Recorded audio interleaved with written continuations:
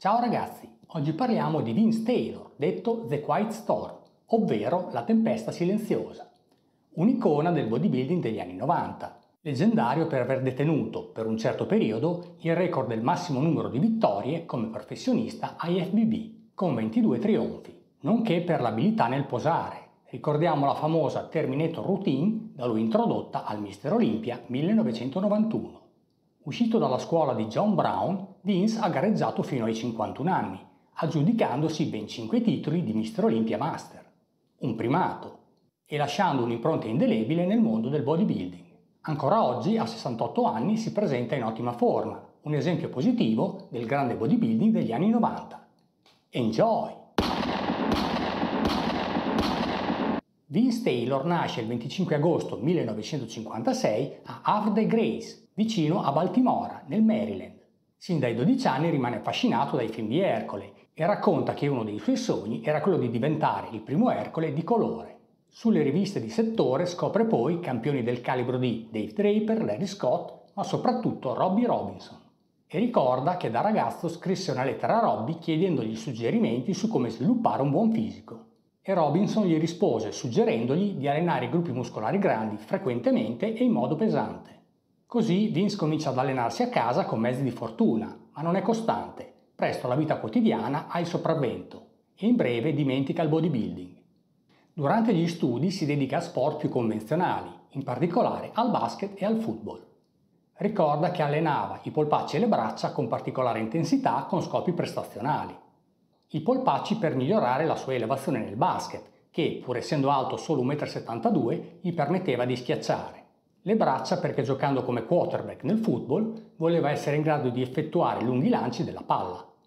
E la leggenda narra che sviluppò 40 cm di circonferenza di braccio e 45 cm di polpaccio ancora prima di dedicarsi seriamente al bodybuilding.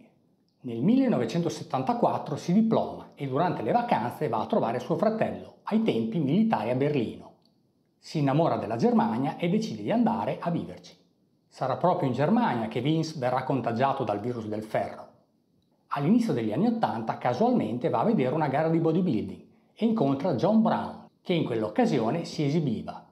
Essendo due americani in Germania, i due si trovano, hanno modo di parlare e John, notando il potenziale di Vince, gli suggerisce di dedicarsi al bodybuilding. Sarà proprio l'influenza di John, unito al suo successo con le donne, a spingere Vince a cominciare ad allenarsi seriamente. Da Brown Vince apprenderà i rudimenti su allenamento e alimentazione e l'importanza della presentazione, cioè di portare sul palco una routine di pose in grado di coinvolgere il pubblico. La ricetta di John per diventare un bodybuilder di successo è semplice e chiara, basata su tre punti chiave Eat big, train big, sleep big, cioè mangia molto, allenati molto e riposati molto. E così Vince, che all'epoca pesava sui 70 kg per 1,72 m di statura, comincia ad allenarsi intensamente. Passa qualche settimana insieme a John a Los Angeles, dove incontra diversi campioni dell'epoca, da Charles Glass a Tony Persson. Poi prosegue gli allenamenti in una palestra in Germania. Nel 1983, a 27 anni, partecipa alla sua prima gara, il Mister Berlino si prepara per tre mesi con una dieta a base di tonno e riso e si definisce al massimo arrivando in gara sui 68 kg. Sebbene una serie di contrattempi lo facciano arrivare in ritardo sul palco a gara già iniziata, costringendolo a gareggiare nei pesi massimi, a sorpresa vince. È l'inizio di una lunga carriera piena di successi. Galvanizzato, Vince continua ad allenarsi con impegno il suo fisico reagisce rapidamente. Ma oltre alle soddisfazioni ci sono anche i contrattempi. Nel 1986 rischia di compromettere la sua carriera sportiva. Mentre sta facendo dei curl di riscaldamento prima di un'esibizione, pochi minuti prima di salire sul palco, si strappa il tendine del bicipite sinistro.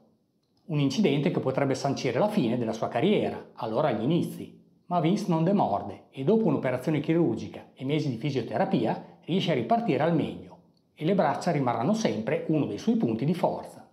Dal 1987 comincia a partecipare a gare importanti, aggiudicandosi il titolo di Mister America e EU nella categoria medie taglie.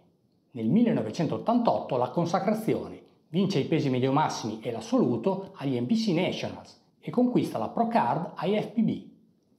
Dal 1989 comincia a gareggiare fra i professionisti, ottenendo un brillante terzo posto al Mister Olympia e vincendo la Notte dei Campioni.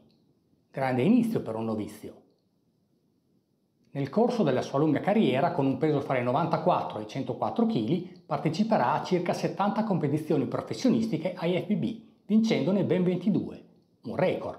Ricordiamo le vittorie all'Arnold Classic e i numerosi Grand Prix, le 6 partecipazioni al Mister Olympia, dove vanta due terzi posti, e i ben 5 titoli di Mister Olympia Master, vinti fra il 1996 e il 2001. In realtà l'ambizione di Vince era vincere 10 titoli come Mister Olympia Master, per stabilire un record indelebile, ma, secondo il suo racconto, a un certo punto incontrò parecchie resistenze e ostilità politiche, culminate nel secondo posto ottenuto nel 2002, un verdetto a suo parere ingiusto che lo fece allontanare dallo sport. Tornerà alle competizioni nel 2006 con un brillante terzo posto all'Australian Pro, che ripeterà l'anno seguente. Concluderà la carriera sportiva nel 2007, a 51 anni, con un decimo posto all'Arnold Classic sente ormai di essere fuori dal giro dei vincenti. A complicare le cose subisce un infortunio alla schiena che lo convince che è arrivato il momento di abbandonare le competizioni. Ritiratosi dalla scena agonistica, Vince ha continuato ad operare nel mondo del fitness, in veste di personal trainer e imprenditore. Lo ricordiamo come promotore del programma di allenamento Powerball 50 Smart Grip, un approccio per allenarsi ai cavi con pesi leggeri, basato su una speciale maniglia chiamata Powerball che a suo dire permette di focalizzare meglio lo sforzo sulla contrazione muscolare, riducendo al contempo il rischio di infortuni. Ancora oggi, arrivato a 68 anni, Taylor si mantiene in ottima forma, ispirando legioni di ammiratori in tutto il mondo. In palestra Vince Taylor non ha mai creduto nel sollevare pesi il più pesanti possibile. Invece si è sempre concentrato sul lavorare i muscoli da diverse angolazioni, con un peso adeguato per stimolare la crescita, usando carichi che gli permettessero di sentire la contrazione muscolare attraverso la connessione mente-muscolo.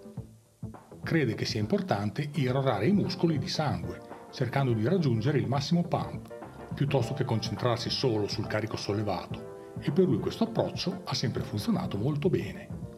All'apice della sua carriera si allenava 6 giorni a settimana, due volte al giorno, seguendo una routine push-pull-legs, con la quale esercitava petto, spalle e tricipiti il giorno 1, gambe e addominali il giorno 2, schiena e bicipiti il giorno 3.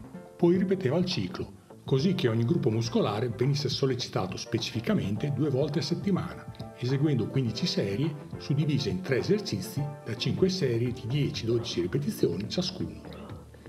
Sebbene riconoscesse l'efficacia di tecniche di intensità come super serie e drop set, nei suoi workout preferiva utilizzare serie singole svolgeva anche attività cardio regolarmente, ritenendola importante sia per il controllo del peso corporeo che la salute di cuore e polmoni, e si dedicava regolarmente a corse all'aperto su strade e sentieri. Anche sul piano alimentare Vince aveva un approccio molto personale. Ricorda di non essere mai stato un grande mangiatore, si alimentava consumando solo tre pasti al giorno, a volte anche solo uno o due, con una dieta che definisce in stile Burger King, cioè a base di Coca-Cola, hamburger e ketchup. Niente pane, poche patate, poco riso e poco o niente integratori. Raramente è salito fino a 5 pasti al giorno, ma in generale erano solo 3 pasti e la Coca-Cola non era Coca Zero, ma tradizionale. Una sua colazione tipo consisteva in uova, pancetta e ketchup, quindi un'alimentazione ad alte proteine, con un discreto contenuto di zuccheri dalla Coca-Cola, ma un intake calorico complessivo abbastanza moderato rispetto alla media degli altri atleti. Un approccio alimentare che può far sorridere molte persone, ma che, nel caso di Vince, gli consentiva di raggiungere e mantenere la forma fisica che tutti conosciamo e per cui è diventato famoso, e visti i risultati, per lui funzionava. Riassumendo, Vince Taylor è stato uno degli atleti IFBB più vincenti di sempre e detiene ancora oggi il record per il massimo numero di vittorie al Mister Olympia Master avendo conquistato il titolo per ben 5 volte. Popolare per l'incredibile sviluppo di braccia e polpacci, la linea armonica e simmetrica, nel corso della sua lunga carriera Vince si è trovato a confrontarsi sul palco con i migliori campioni di sempre, da Lee Haney a Dorian Yates, da Ronnie Coleman a Jay Cutler e tanti altri. Fedele al suo approccio istintivo all'allenamento e all'alimentazione, ha superato il test del tempo, riuscendo a mantenersi in ottima forma fino ad età avanzata e si propone come un esempio per tutti. Se Vince Taylor, che non era né un grande sollevatore e neppure un grande mangiatore, ha potuto gareggiare fino a oltre i 50 anni e ancora oggi alla soglia dei 70 anni si presenta in salute e in ottima forma, al contrario di tanti altri ex campioni, io qualche domanda me la farei. Ciao alla prossima!